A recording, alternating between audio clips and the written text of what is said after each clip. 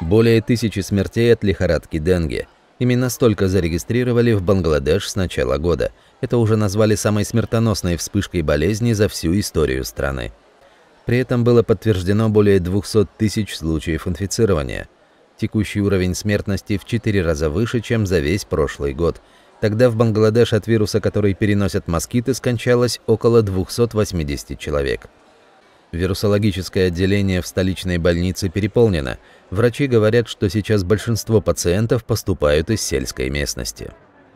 Из Даки пациентов стало меньше, но теперь все больше поступает из сельских районов страны. Например, из 54 пациентов, которые поступили за последние сутки, 22 прибыли из районов за пределами столицы. Это беспокоит. Вакцины или лекарств от денге не существует. Лихорадка обычно проходит за неделю – Протекает с температурой, интоксикацией, сыпью и увеличением лимфатических узлов.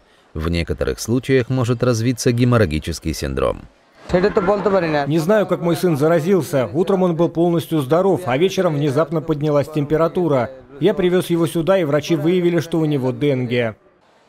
При классической форме заболевания не смертельно, а в случаях с геморрагической лихорадкой смертность достигает 50%.